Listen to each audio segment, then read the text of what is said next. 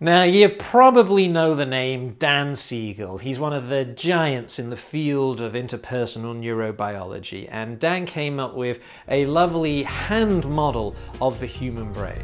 So let's kind of go through the hand model of the brain. And this can be useful for you to understand, but at times it might be useful for you to actually share this with your client. The wrist, uh, the forearm coming up to here, is like your spinal cord.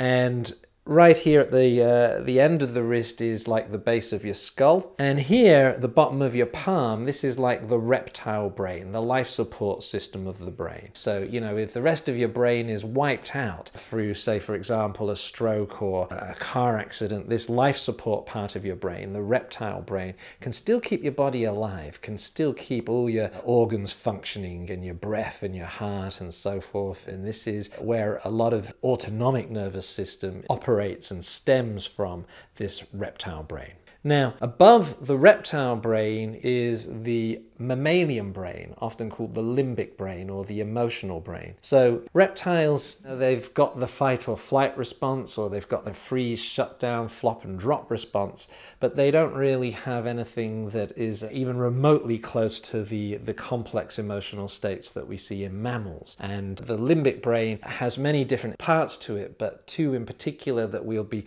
looking at in this course are the amygdala and the hippocampus. Now, don't worry about memorizing those terms for now. We will revisit them later. But this kind of is the, the middle brain, the limbic brain, the mammalian brain, basically responsible for emotions. Now, on top of the limbic mammalian emotional brain, you've got the cerebral cortex, the thinking cap of the brain. The cerebral cortex is much thicker in mammals, but especially so in primates and particularly so in human beings more so than any other primate. And this cerebral cortex, the thinking part of the brain responsible for consciousness and cognition. And right at the front of the cerebral cortex, you have the prefrontal cortex, the part of your brain that's right up here at the front of your forehead, above your eyes. And particularly important to us is the medial prefrontal cortex, this bit in the middle, right at the front, this bit up here.